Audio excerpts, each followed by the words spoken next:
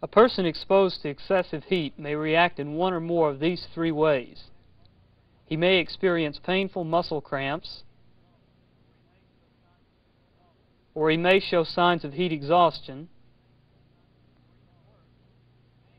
or even worse, he may experience heat stroke. In all three cases, he needs prompt and specific medical help. When a man has muscle cramps, he may have a great deal of pain in his legs or lower abdomen. His body temperature is probably normal. These cramps are caused by an excessive loss of salt from the body through sweating. Your patient may be damp or his clothing may have long since dried. To treat him, you need to replace the salt that he has lost.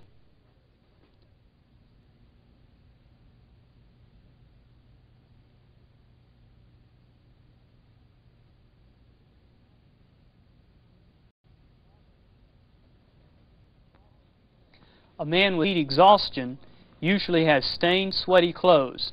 He may be weak, dizzy, and vomiting. His skin may be moist and cool, and he may even have muscle cramps.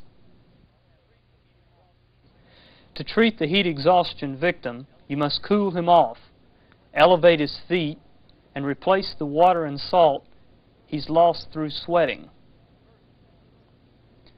First, remove him to a cool, shady area.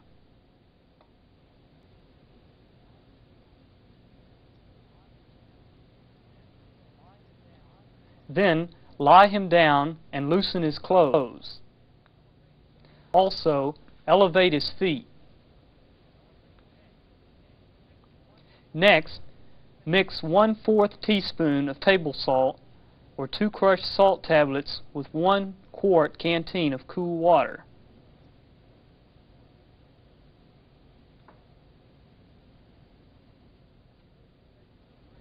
Encourage your patient to drink three to five canteens of this mixture over a 12-hour period.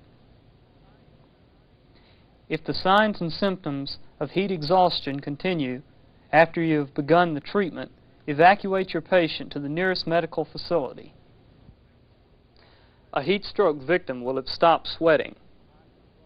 His skin will be hot and dry. If he is conscious, he may seem confused. He may even be vomiting. It is also possible that he will be unconscious. Headache, dizziness, and a fast pulse are usually further results of the injury. Heat stroke is a medical emergency you will need to treat your patient quickly and accurately. His temperature must be brought down as soon as possible. First, remove him to a shady area. Then immerse him in water if a river or stream is nearby.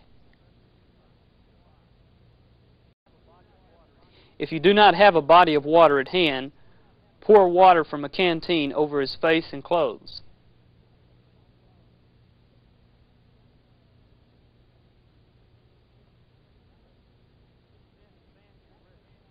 Then fan him briskly. Do not take time to remove the casualty's clothes. The material will retain the moisture and keep him cool longer.